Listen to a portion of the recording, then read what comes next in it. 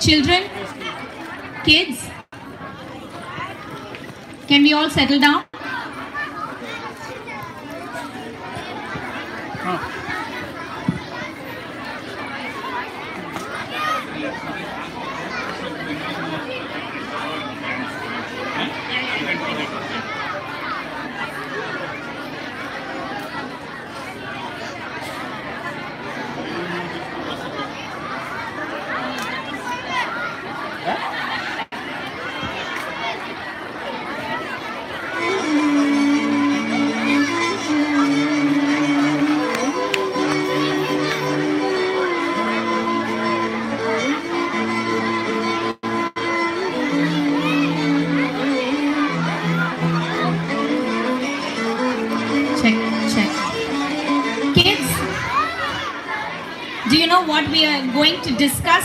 About today?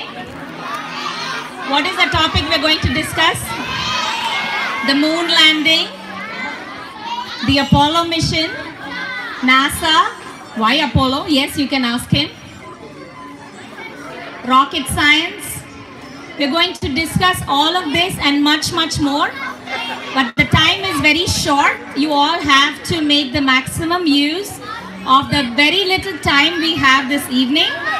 It will be an interactive session, but if there's going to be a lot of noise, then another person sitting next to you may not be able to follow what's going on. So I request you all to kindly pay attention to what is being told.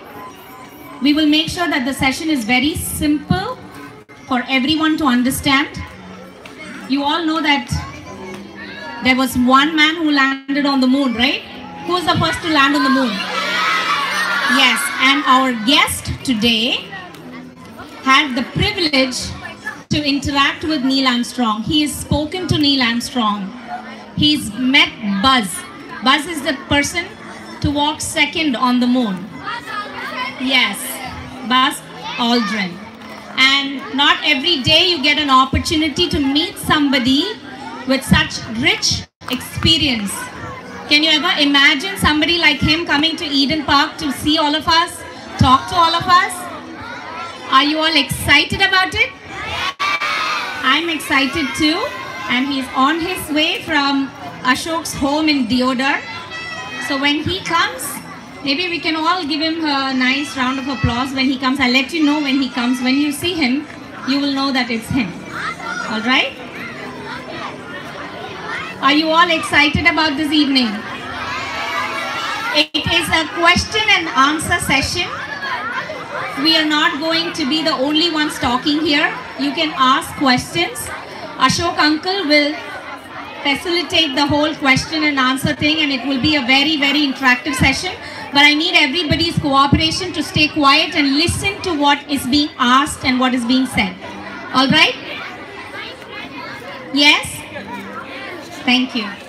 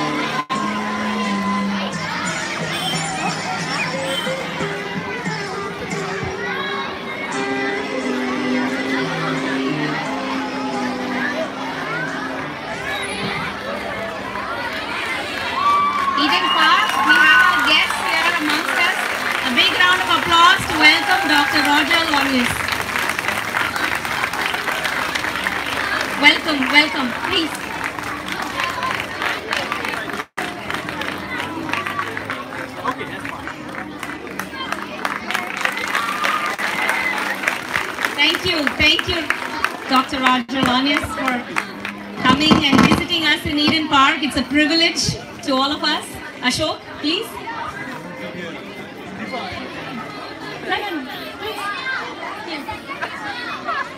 Invite, we invite Monique here, Dr. Roger's wife. Big round of applause. Thank you for being here today with us. Please. Ashok, Dolly.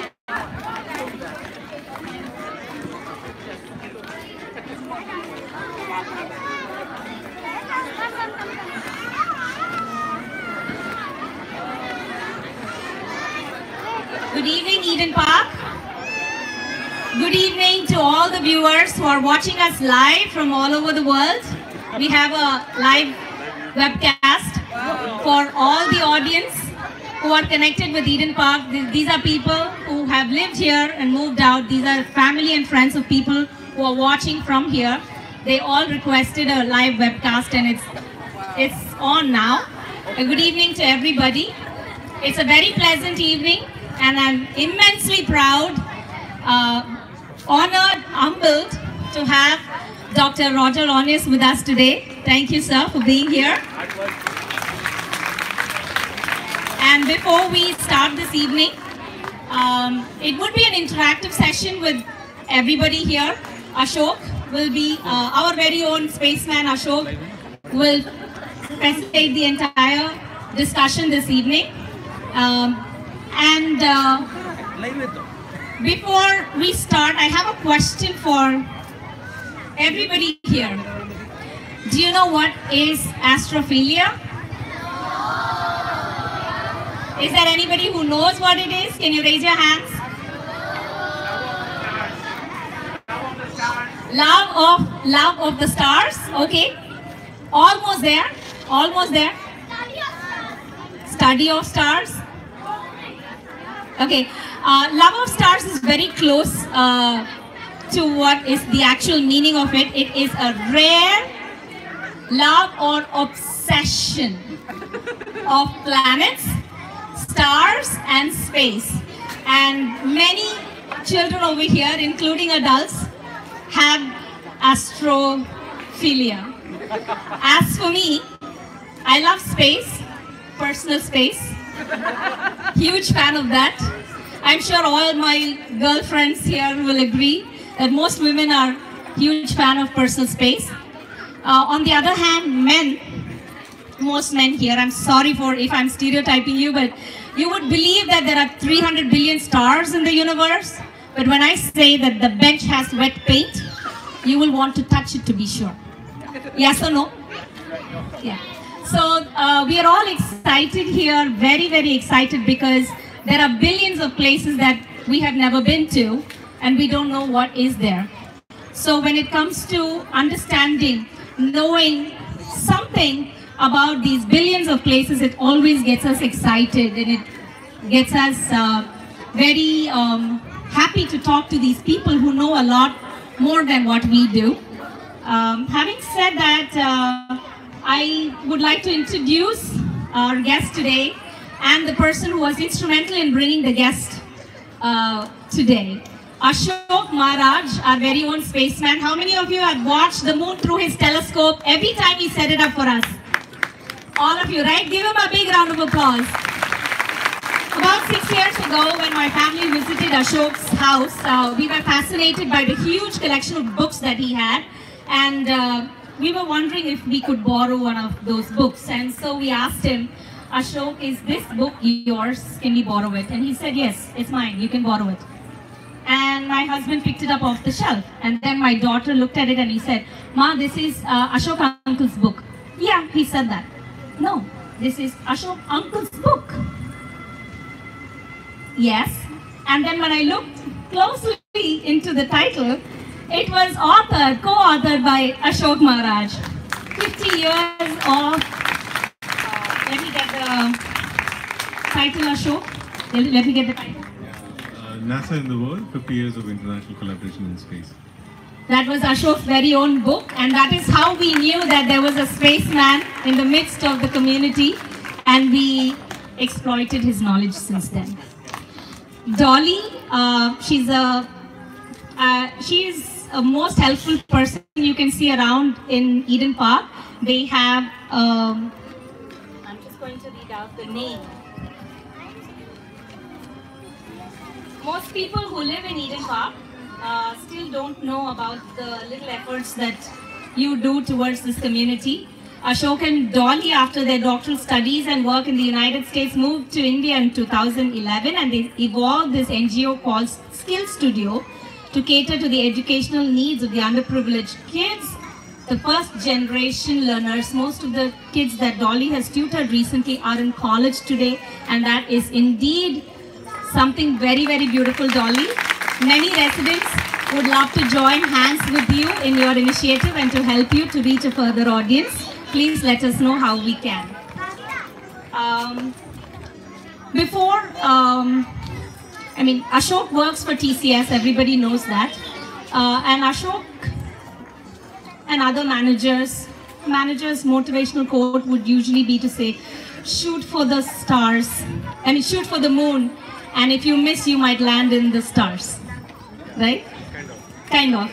But Ashok is here to reason out and tell us, shoot for the stars, and shoot for the moon, and if you miss and land in the stars, you will drift into the empty, vacant space, empty space, abyss of space, and you will probably, uh, the lack of food, oxygen, and water will cause you to embrace the cold death, right? That's what Ashok would reason out to us.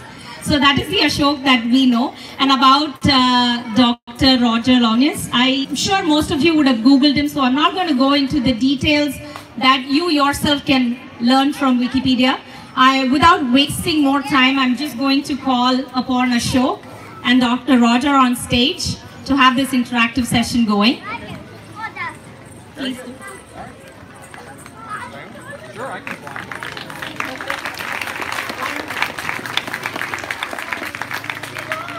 Thank you very much, Deepa. This is a wonderful introduction. And I'm amazed to see so many people gathered here. And it's kind of equal to the karaoke night that we do here, right? So this is a very sort of an intellectual talk going to happen. And uh, I've known Roger for uh, more than five years when I was a graduate student at Georgia Tech. And uh, he's someone who is extremely graceful, right?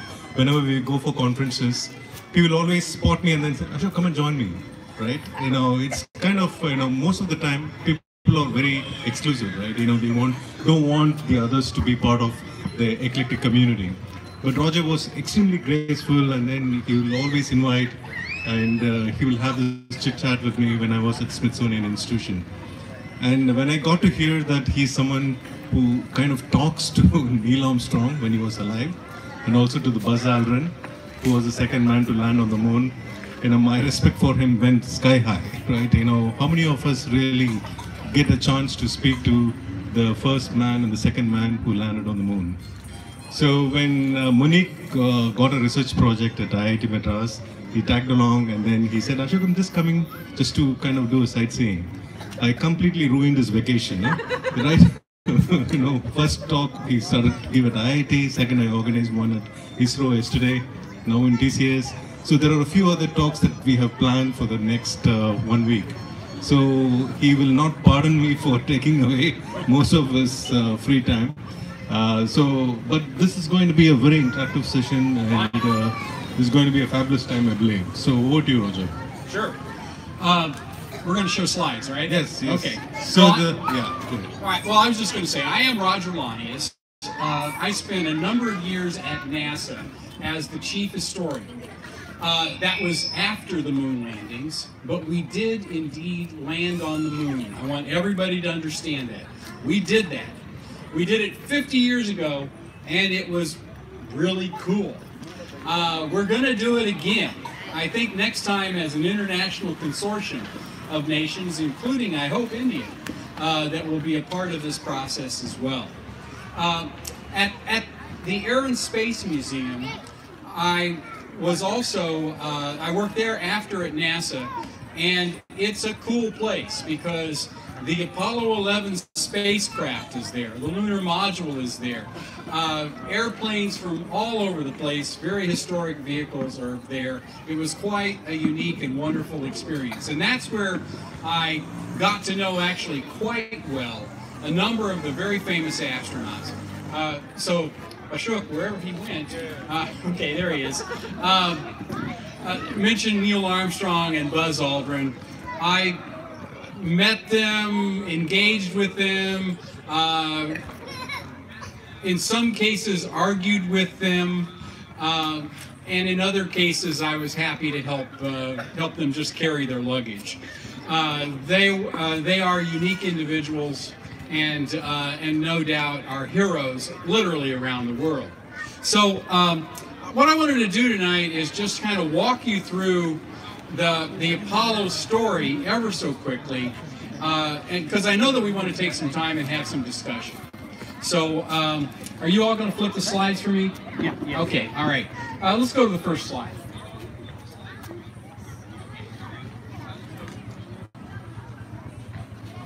So we decided to go to the moon in 1961. Long time ago, before most of you all were born. I was alive, but barely at that point.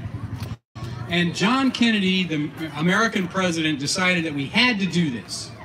And we had to do it because of a Cold War environment in, between the Americans and the Russians and the Allied nations on both sides of that Cold War uh, to demonstrate science and technology and, uh, and its importance for the future to uh, the entire world. So Kennedy, John Kennedy gave a speech in May of 1961 that set the course to go to the moon. And he, and he said it like this I believe this, I'm trying to do the accent. I believe this nation should commit itself to achieving the goal before this decade is out of landing a man on the moon and returning him safely to Earth. Okay, so that's the operative phrase. Do it by the end of the decade. Reach the moon by the end of the 1960s. And oh, by the way, here's my first Buzz story. So Buzz Aldrin explained to me that a favorite part of the speech for him was that returning him safely to Earth part. He thought that was the most important. So we embark on an Apollo program. Can I have the next slide? And we didn't do it because lots of people thought it was a great idea. Uh, this is a set of public opinion polls in the United States during the 1960s. And it runs up until the first part of the 21st century. And one of the things you will see is the blue uh, lines are people who are in favor of going to the moon, and the red lines are people in favor of not going to the moon. And you'll find that through most of the 1960s, most people didn't want to. Mostly, they didn't want to spend the money. They thought it was too expensive. We still have that conversation today. Should we spend money on space when there's so many problems here on Earth? Let me tell you, we should spend twice as much as we are spending on, uh, on space because it helps us solve all these other problems here on Earth. Could I have the next slide? They also thought that the Americans and the Soviet Union were ahead or behind in space, and during the first part of the, of the 1960s, the Russians were ahead. That's all I wanted to say there. Go on. So we did go to the moon. We built a huge rocket to do it, what was called a Saturn V, 363 feet tall. The story, a 36 story building basically, delivered 7.5 million pounds of thrust at launch. And here's an example of that launch.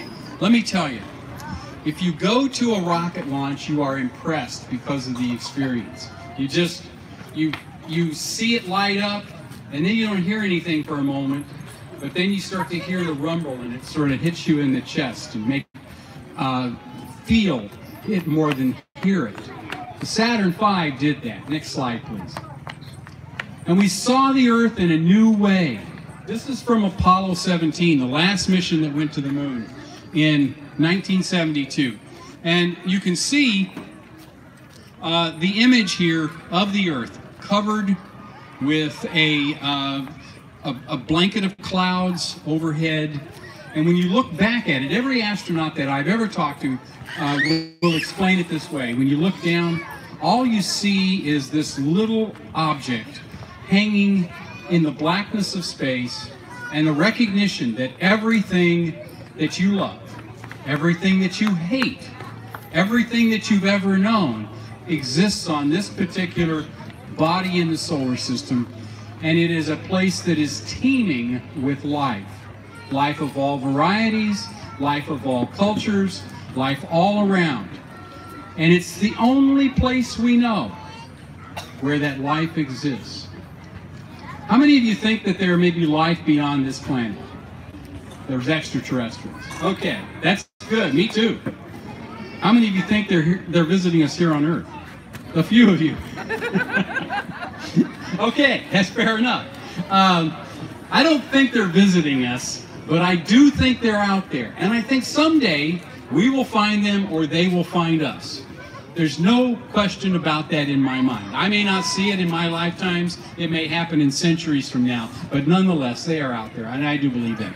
But when you look back on this planet from space, one of the things that you see is a real hopefulness of what is present on this particular planet and how we can do things to affect everything as we move forward. Can I have the next slide?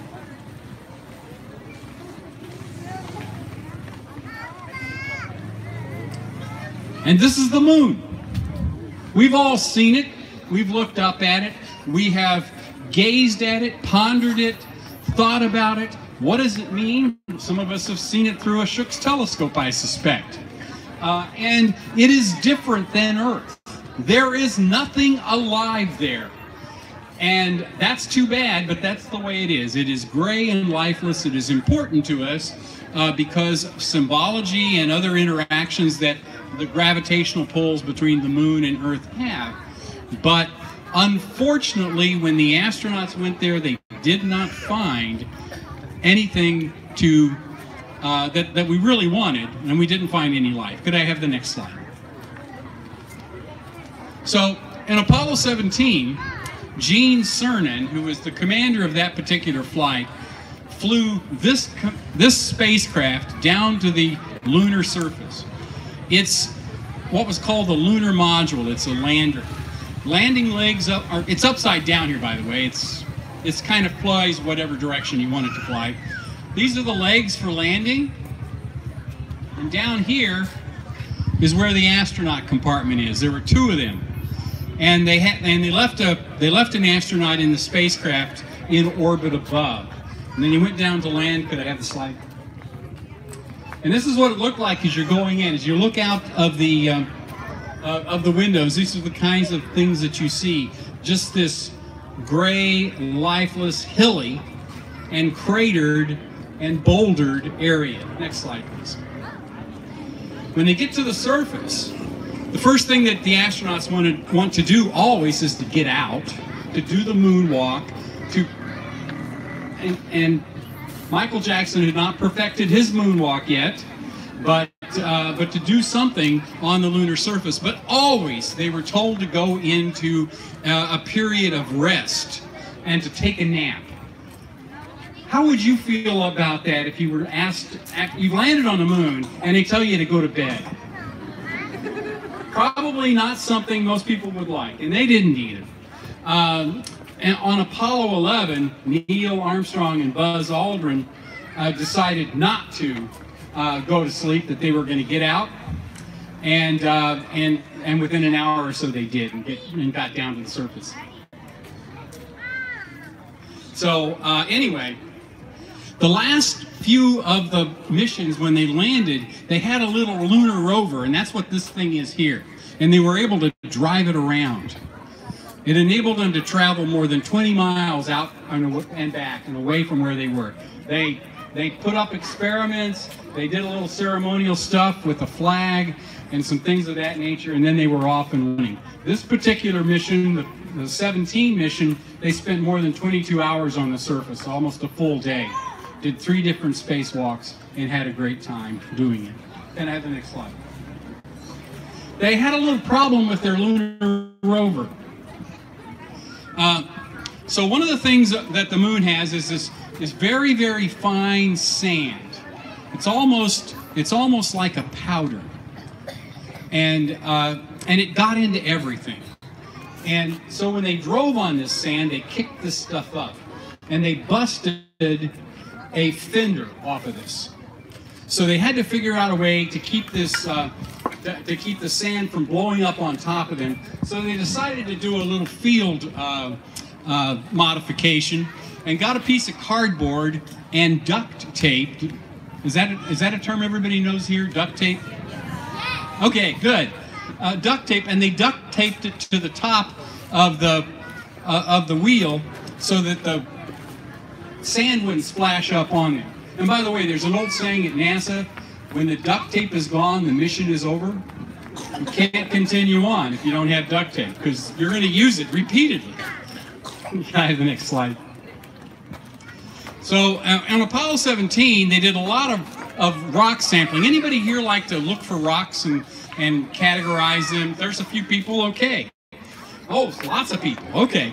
Uh, well, that's what they were doing, and they were they were uh, working in basically geology. They were trying to find rocks, trying to bring back samples, and they found some stuff over here next to this big rock that was uh, uh, something they'd never seen before, sort of yellowish uh, rock-like substance, and it really excited them. Uh, they referred to it as the Genesis rock and something that would help us understand the origins of the solar system. And they brought some of it back, and it's been important as uh, as they've analyzed this over time. Could I have the next slide? So this is Gene Cernan. He's in the uh, he's in the lunar module. He's getting ready to come back to the Earth. Uh, he was the last man on the moon in December of 1972. He made a little speech before he got up onto the, uh, the vehicle and he broadcasted back to Earth.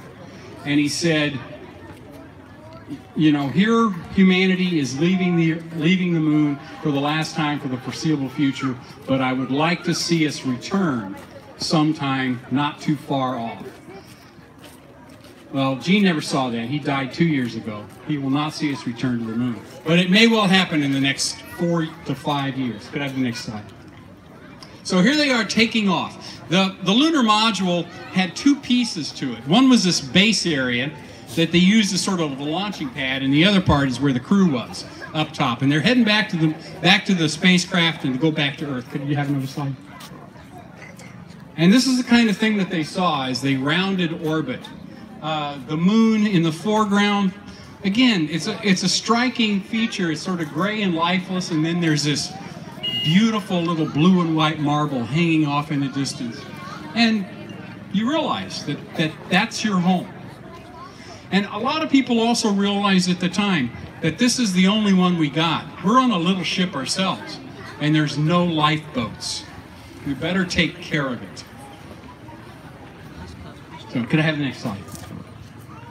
They came back, they docked with the command module, which is this piece right here, uh, to return home. Could I have the next slide? They jettisoned this lunar module, and it did not come home. It flew back onto the and crashed onto the surface of the moon, and that's where they are today. I there's lots of stuff on the moon.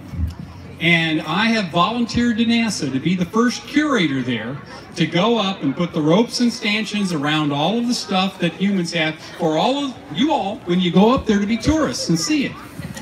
And uh, who wouldn't want to go do that? I, you know, I, I totally would. Next slide, please. And then they come home on these parachutes and they splash down into the ocean.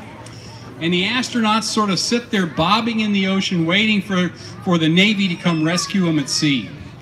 There's some of the folks who hated that, especially the Air Force guys. Being res rescued by the Navy? That's just wrong. It's not an accident that the next human spaceflight vehicle that NASA built had wings and wheels and it would land on a runway. The, the Air Force guys really wanted that. Next slide, please. And here they are being rescued at sea. Again, the Navy aircraft carrier coming after them. Don't you just hate that if you're an, if you're an Air Force guy? Next slide.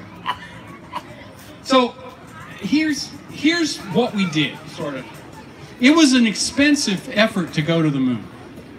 It cost $25.4 billion in the 1960s. That's about 200 billion today. It's a lot of money. But it's not that much in the overall scheme of things. I, I think of this as an investment in the future.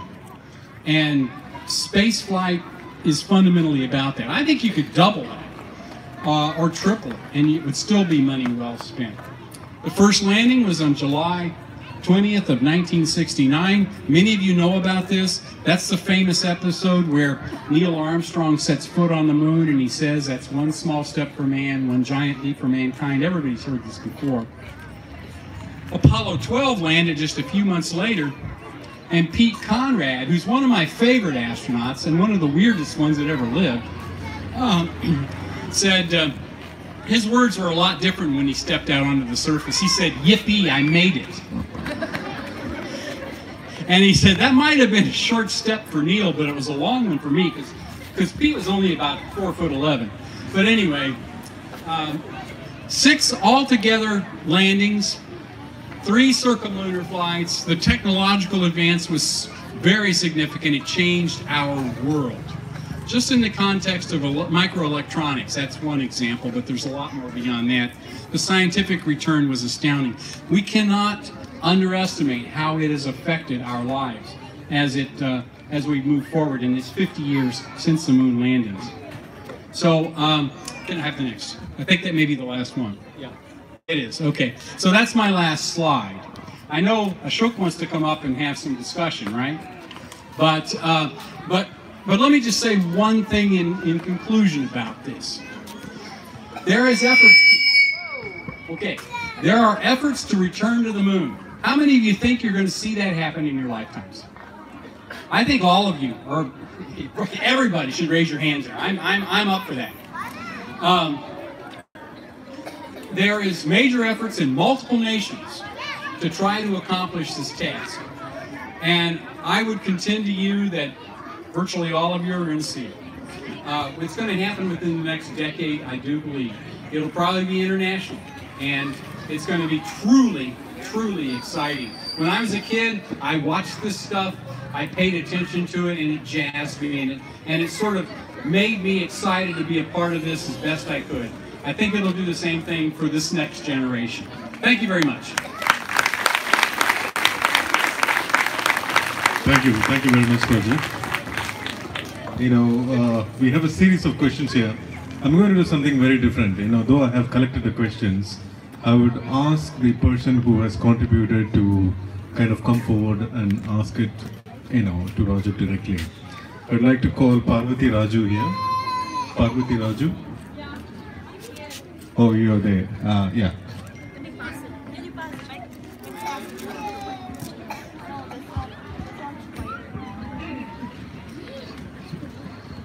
Hello, Dr. Roger. Hi. Very happy to have you here. My pleasure. Yeah. So, first question is Are we alone in the universe? When will we have an answer for that? I wish I knew the answer. I do not believe we are alone in the universe. Hmm. I think that with the with the billions and billions of stars that exist and the planetary bodies that are out there, that there's got to be life on it on some of them. We haven't found it. They haven't found us but I do believe it's definitely out there. You know, um, in 1995, we found the first planet around another star in another solar system. And, and it was a giant planet, sort of like Jupiter. So we, it doesn't have life like we know it, if there's any life there at all. But since 1995, we have, we have found and this is scientists around the world working cooperatively, uh, we have found more than 4,000 planets in other solar systems, and, and those are the ones that are relatively nearby because we can't see that far.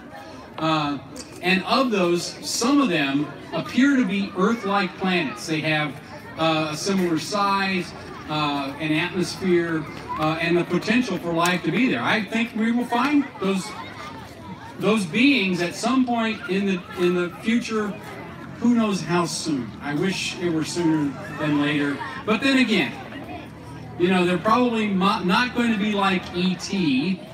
if you saw that movie, or, uh, or or some of the other sort of benevolent extraterrestrials. They may be more like that one from Alien.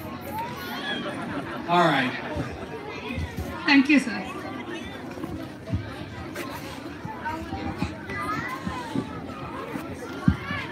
Uh, Parvati, your second question is very important for our community. I will just ask this directly to Roger.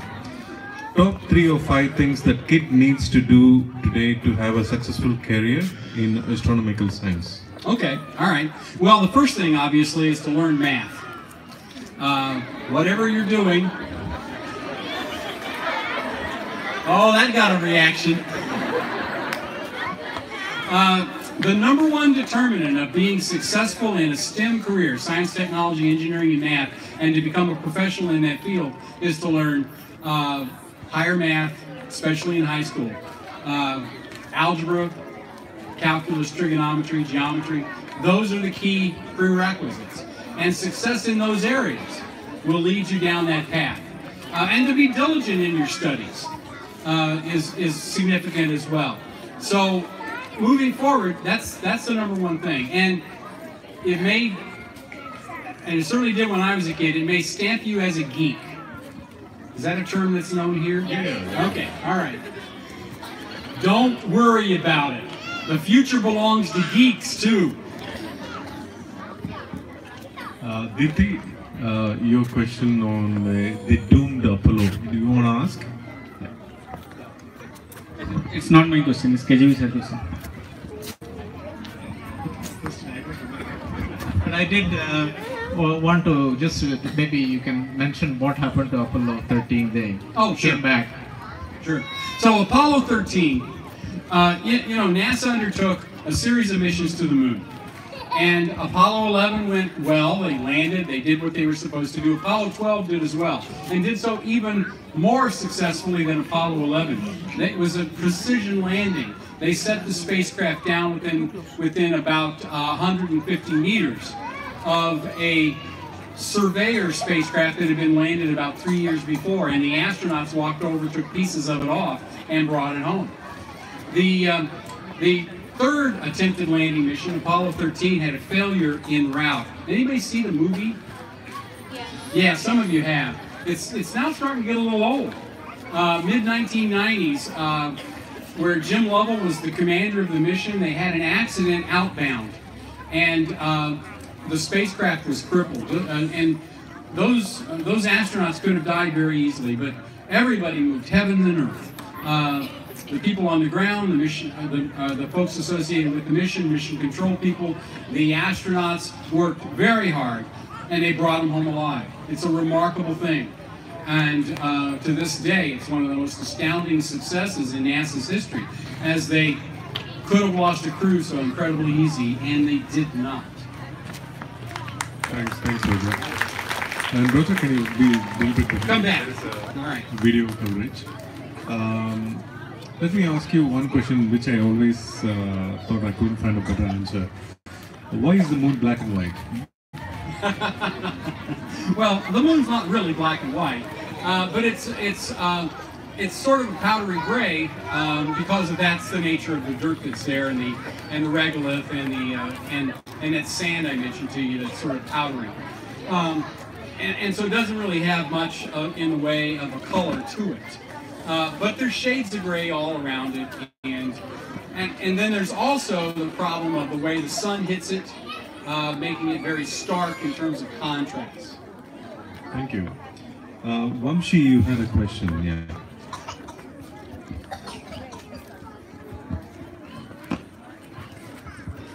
Hi, Dr. Roger. Uh, to what extent did the Apollo program and the space race in general has led to a technological revolution uh, which has transformed um, and benefited humanity? And what about the future missions? Okay, well that's a that's a great question. Um, you know, there's I, I could point to all kinds of things in terms of stimulating, giving a kickstart really to uh, technological change at, that came out of the Apollo program. But I'll just talk about one for, for the moment here. Um, in the early 1960s, NASA contracted with MIT. Many of you have heard of MIT, very famous university, technical university in the United States, to build a guidance computer to go to the moon. And there, uh, computers existed at the time, but they were really, really large, as big as a house, and they were not very effective, and they took a lot of care to make, make them operate. The, uh, the task was to build a guidance computer that could push the capability of computing at the time and could also shrink it in size so that it could fit on a little tiny spacecraft. And so the the people who had the contract to build this computer at MIT hired about a thousand of the of the best engineers that they could find to work on this project. And those folks put their head down. They spent the next decade uh, undertaking this task, and they built a computer that did its job. It was small. It weighed only a few uh, a few uh, kilos. It uh, it was able to compute to a level that was necessary to do the moon landing. Nothing like what you can do today. You have a lot more capability in your in your mobile phones than they had going to the moon. But it did what it was supposed to do.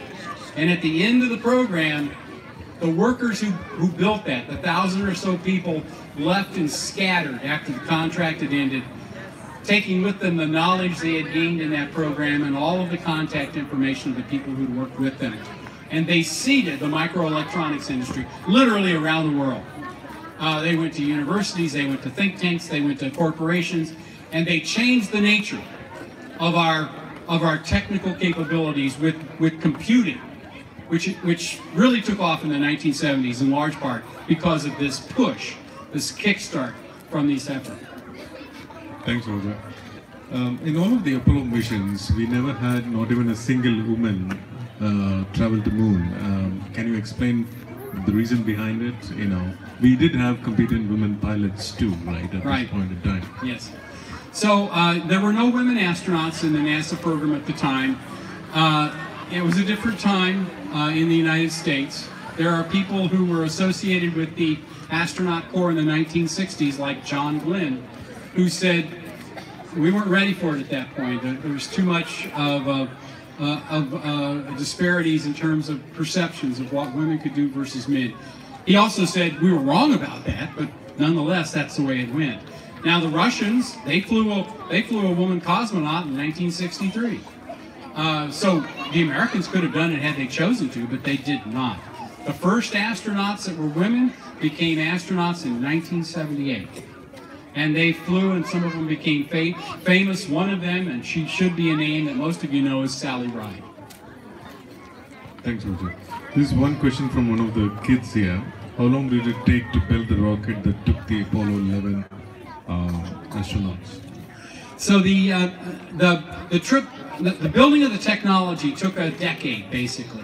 Took 10 years or so. The uh, Americans had been working on a large rocket that was necessary to go to the moon, really in the late 1950s, but it really took off. Lots of money got put into it, beginning in 61. And by 1967, 68, they built a rocket that could could accomplish the task. And nobody has ever built a successful rocket that big since. There has to be a new one built for uh, efforts to return to the moon, and it's underway right now. Thank you. Um, there was one, I don't know whether this is true or not, that Americans tend to overemphasize uh, technology a lot. And uh, there was one uh, incident where, you know, astronauts wanted to write in space and they kind of spent a million dollars uh, devising a pen so that they could write uh, in space. And the Soviets sent a pencil, right? Uh, so is that true? No, No. no, it's not true. Uh, so uh, they always had a problem talking about trying to figure out how to do uh, writing down. and This, this kid right here is going to ask a question next. Is that okay? Yeah. All right. He's got his hand up. We'll get to you in just a minute. The um, the reality is every time you try to do something like that there's residue that starts floating around so if you use a pencil the graphite on the pencil anybody ever broke a pencil in school that yeah right and there's stuff on your paper right What happens when you're weightless? It doesn't stay on the paper, it starts floating around, gets in your eye or whatever. Uh, so that was a real problem. They couldn't use that. Some people thought, well, maybe we can write with a grease pencil. Anybody ever written with a grease pencil? And that's got problem in the same exact way. So this residue comes off of it, and when it's when there's no gravity, it starts floating around and doing bad things. So what happened was this was a problem. People were talking about it, and they happened to be talking to the the CEO of Fisher Pen Company. And the Fisher Pen Company's uh, CEO says, "I can fix that. All we need to do is create a cartridge for the ink that is pressurized. Then it can write in space. It can also write underwater or any place else you want it to." And uh, and NASA says, you guys do that and we'll buy them from you. And they did. Uh, they were a little more expensive than regular pins, but they were still only about $30 a piece. And uh, that's sort of a bargain. Right. Okay, so this, This, this young kid. Uh, yeah. So I might allow five kids to ask question, not more than that. Then um, yeah.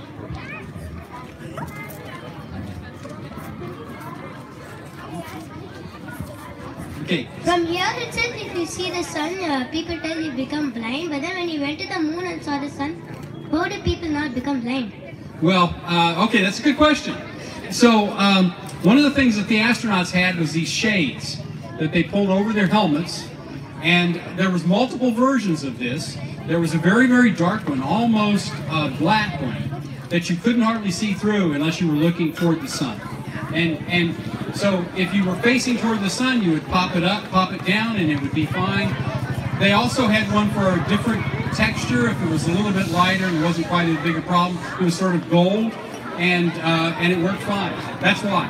Okay, we got a bunch of kids in line. Now everybody wants to ask a question and that's the rumbling going on there. We do not have too much time for everybody to ask questions. I will... Roger, you can handpick the crowd. This five. Let, let, let's let's get a girl this time. Girl, girl. Get a girl this time, Okay. and I don't care who. Do aliens live on the moon? No. Why? There, there, there is nobody alive on the moon. We're pretty confident of that. We haven't found a thing. So, so next, let's go to another question. What? I'm just going to have two kids here with me and the rest will, can you all go back and sit, settle down? You stay. And you stay. The rest,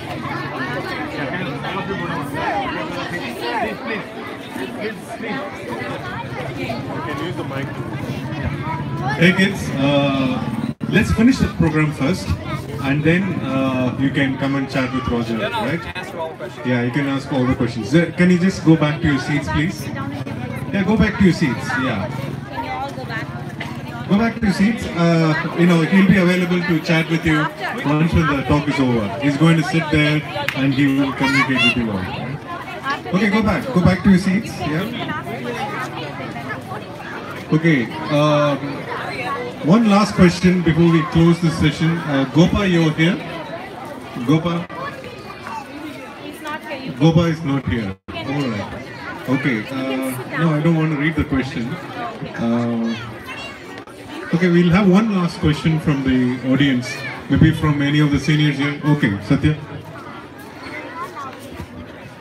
Hi Roger, good evening. So my question is okay, uh, when is the next uh, plan for the NASA to go to the to launch the people in the moon? Because it's almost 50 years now, right? So why NASA didn't try after? It's uh, just uh, out of curiosity. The, uh, the, the current effort is to try to reach the moon by the end of 2024. So it's only four years from now. They may not make that. It'll probably slip some, but certainly I think by the end of the decade in terms of returning to the moon. Okay, Satya, answer. Okay. So one question from um, Devaki. In what way can we get into NASA if we are really interested? Okay.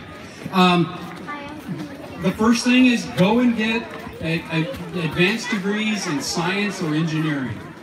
That's the that's the core objective. We need really smart people who understand science and technology to undertake space exploration. And I cannot urge you enough to study hard and work at those particular activities. Senior. I'm a senior. Okay, you want to ask one final question? Okay. Hey, ki- kids, settle down. We are ending with the last question now. Yeah. Then he'll be available to chat with you all. Right? I'm sorry to you, I'm a senior. I don't think you're a senior. Well, uh, Roger, I'm Dominic. And before the question, I wanted to say I served in the Navy. So I, Oh, okay. You resent what I said. yes, I do resent what you say, that the Air Force uh, personnel were embarrassed that Navy had to rescue them. Please remember, what goes up must come down. Yeah. So we But if the to- Air Force people wanted to come down on a runway, Yes. Okay. Next, you spoke about pencils. In the Navy, we still use pencils to write our logbooks because in case the ship gets flooded, the handwriting, the records are still legible. That's So pencils are still used by us. yes, indeed. Right. Uh, actually, before the question, a rhetorical question. You may not answer it. On Earth, you know, a dog looks at the moon and howls. Now, if a dog reaches the moon, do you think it will howl at the Earth? Why not? Okay. No, that's a rhetorical question. The actual question is, I read somewhere that you know a small girl said that if you look at the sun, you go blind. If you stare at the moon, you become a poet. And is it the way to become a historian in NASA is to sit in your chair and stare into space? Okay, that's a great question. Of course it is. No, not really. So, All right, kids. Uh, yeah, please can you sit down? Uh, we will have a private session with Roger once when this uh, talk is over. Please go back to your seats.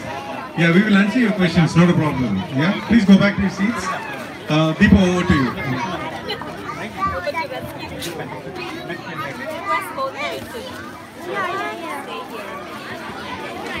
Children, can everybody settle down?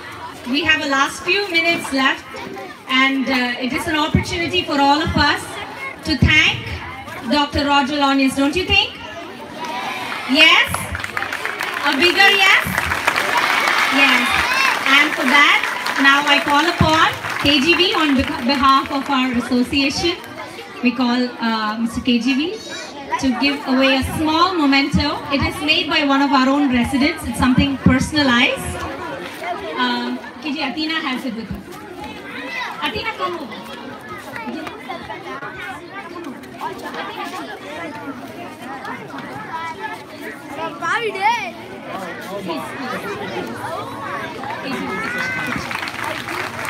thank you all so much. and request the youngest member of our community, Athena, to hand over a small bouquet as a token of our love and appreciation for coming over all the way, taking your time off to interact with children. Athena, you can give it to him. Okay. Yeah. Thank you all. It's very nice. All right. Uh, Yeah, I'd just like to propose a formal vote of thanks on behalf of uh, Eden Park to Dr. uh, Launius and uh, Monica for visiting us here and uh, sharing the experiences about uh, space exploration. And I think for the children here, I see many of them gathered here. Uh, I just want to give one takeaway from this visit is they have focused on this mission and I, they have achieved great things. So I think all of you in your life and you are going to be the future leaders of this country. So please focus on what you want to do in the future and you will be able to achieve it. Thank you.